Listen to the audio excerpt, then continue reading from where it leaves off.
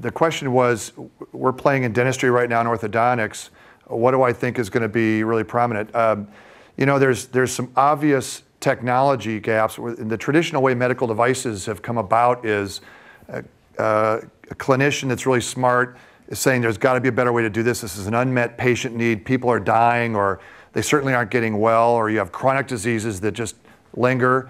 Uh, and you have engineers that are thinking of the same thing, and they get together and figure out a way. Um, I think there is, so there's going to be convergence in the next 5, 10, 15 years of, I believe, today's medical device technology with a, an original clinical focus, patient problem, unmet need.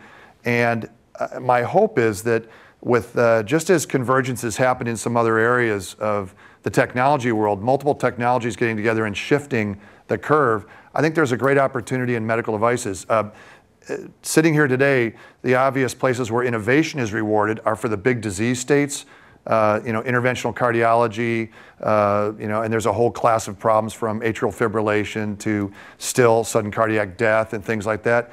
There's huge problems with, you know, what's called COPD, chronic obstructive pulmonary disease, which is just, you know, a terrible way to waste away, emphysema and all that. And, and we've got all the, uh, you know, 60% of the population is going to wind up with type 2 diabetes. So what I'd say there are enormous problems and enormous opportunities, but I, my hope is that the traditional strength of medical devices will continue and we will bring a whole new way to, to get them to be more cost effective uh, and be able to prove that the, the system can afford that intervention because it'll eliminate the need for, uh, but be able to prove that, eliminate the need for a long-term chronic disease state.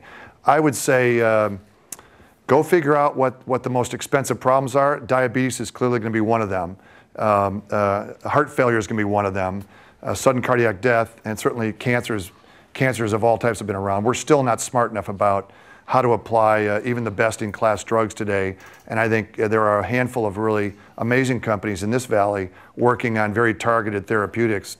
You know, why should a one class, uh, the best class of, uh, of, of, treatments for breast cancer only work on, you know, 20% of the women? And, and they endure all the side effects and yet they don't really work and six months later, you know, you've got bigger problems. We should know what will work, what therapeutic regimen will work on individual patients. So I, I'm actually, it's a hard time, but I'm very optimistic about the long term if, if we don't kill the golden goose.